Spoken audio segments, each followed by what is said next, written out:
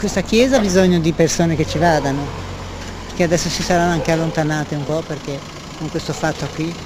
Io sinceramente in prima persona a me non è mai successo niente se non c'è stato un aiuto diciamo non materiale, un aiuto di preghiera, un aiuto di... quindi per me era una persona, poi adesso non si sa, speriamo che ci mettano una persona che ci duri, perché come poi che siano tutti peggio. Di un parroco, un sacerdote soprattutto cattolico, di Santa Romana Chiesa. E beh sì, eh, comunque ci vuole quello. E poi speriamo di chiudere questa parentesi. E beh ci mancherebbe altro, siamo rimasti sì scioccati. Che lo aiuterete secondo la generosità del vostro cuore e nella luce della fede.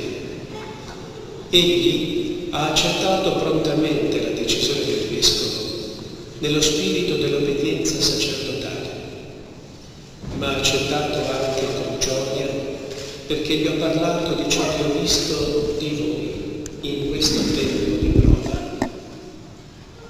Gli ho raccontato del giorno tristissimo nel quale sono venuto per darvi la notizia ufficiale di ciò che era accaduto e dei provvedimenti canonici subiti, subito presi.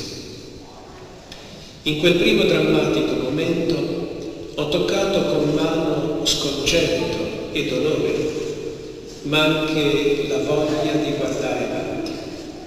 Se da una parte il dolore per quanto accaduto non è di certo attenuato, pensando innanzitutto a quanti ne sono stati in qualunque modo toccati, dall'altra sento la vostra voglia di guardare oltre e di continuare insieme al nuovo parroco.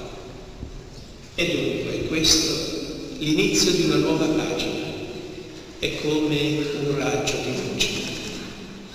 Don Giovanni, con semplicità, sarà con voi e per voi, inviato dalla Chiesa con i sentimenti di Gesù, buon pastore.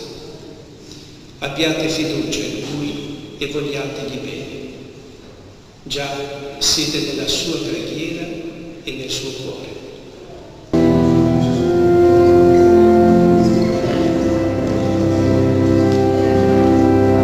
Tanta amicizia e tanta continuità, senz'altro.